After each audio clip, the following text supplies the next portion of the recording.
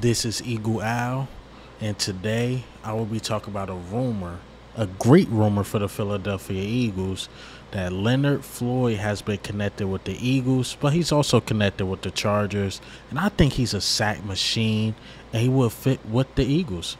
But let's get straight into it.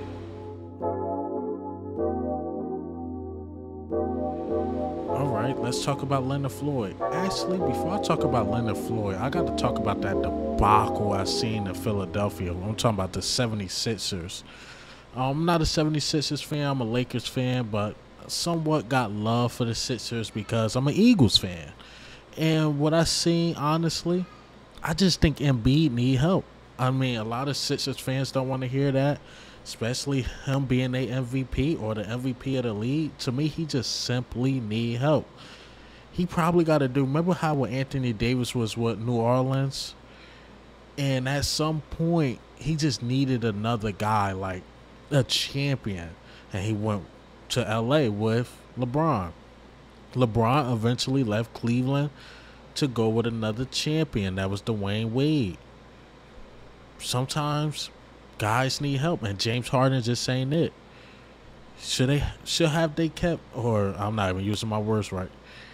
Yes, they should have kept Jimmy Butler. They should have kept Jimmy Butler, man. He need a dog and he needs help. And uh, he getting a lot of not what he said in the playoffs which I mean in the playoff conference after getting knocked out. It's true. I, I believe it's true that it just can't be him and James Harden, even though James Harden, he, he's just too inconsistent. He show up short to me in my opinion. But to me he needs a dog. He needs a dog. Maybe he needs to go to Miami and learn from Jimmy Butler. Or like I said, just pair him with a champion. Maybe he gotta pull the KD. A lot of people don't want to hear that, but maybe he got to pull the KD. I when KD went to the Warriors, three straight game sevens losing like that. Well, for Doc Rivers, for sure. What the um, I think Celtics twice, and then there was the Raptors in 2019. Come on, man, the the kid need help. Sixers ain't doing it for him. Got to keep it real. But let's talk about Leonard Floyd, man. Leonard Floyd talking what nine and a half, ten sacks, nine and a half. Dude is a sack machine. He benefits Leonard Floyd I want him to be a Philadelphia Eagle because he benefits off a good line. He played with the Chicago Bears for about like four years or four seasons, if I'm not mistaken.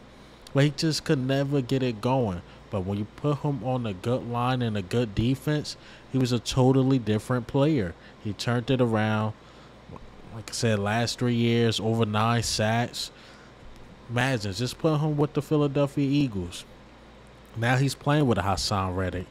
He's playing with a Fletcher Cox. He's playing with a uh, Jalen Carter, Josh Sweat, and you could just rotate them and rotate them. Got Brandon Graham there. What that mean for Derek Barnett? Might be pushed out the door. Can't forget about my guy Nolan Smith as well. So, look, Leonard Floyd just makes our team better. To me, I always say this: it's never enough weapons for defense. Offense, yes, because it's only one football, but defense no, it's never enough weapons, especially on the defensive line. Probably got me on corners. If we got enough corners, just stop it. But defensive line, linebackers, even safeties to me, it's never enough. It's never enough, especially with injuries. Because Derek Barnett, he ain't it. He ain't it, man. So that's who I see. If we pull, if we able to pull um Leonard Floyd, that's the only guy I see going. Everybody else is pretty much in. You, you probably got Marlon Tuipulotu might be gone. If we get uh, Leonard Floyd, it's gonna be a lot of shakeup. But I'm telling you, he make our defensive line a lot better.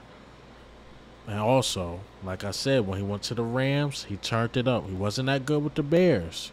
And when he went to the Rams with Aaron Donald and those boys, turned it up. Um, he was on uh, Super Bowl winning champs bring that to the Philadelphia Eagles, and our defensive line is the best in the NFC. In the NFC right now, and then you just add him. I'm telling you, I'm telling you, man. And a lot of people get on me about, oh, you want this player, that player, this player. It's Howie Roseman. Howie Roseman always said, if it's a player out there that I believe that can add to this team, I'm gonna knock and see what they want. I'm never gonna regret like, dang, I should have did, or maybe I should have called because we had that. He's always knocking on the door. So any rumor you see about defensive end, defensive line, probably even linebacker, trust me, Howie Roseman is probably definitely making them calls just to get a feel of what they want and see if it's if it's worth it or not. Like the Patrick Queens and all that, I believe he's making those calls. Um, Leonard Floyd, I believe he's making that call, man. But hey, man, what do you think? how do you feel about the news, man? That's all I got today. You know, it's, it's that part of the off season is really slow to our OTAs and all that pickup, but right now it's really slow. But any news I get, you know, I'm gonna report it. But this is Eagle Al, man.